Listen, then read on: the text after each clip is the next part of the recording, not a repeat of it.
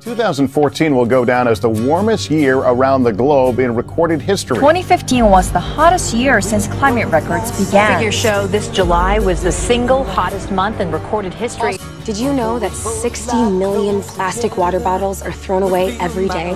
Green it, mean it. Activity. Climate change is now affecting every country on every continent.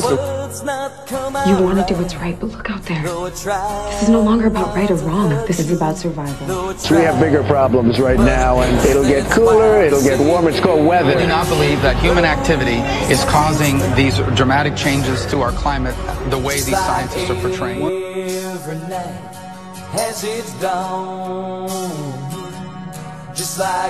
Climate change is real. It is already causing major problems.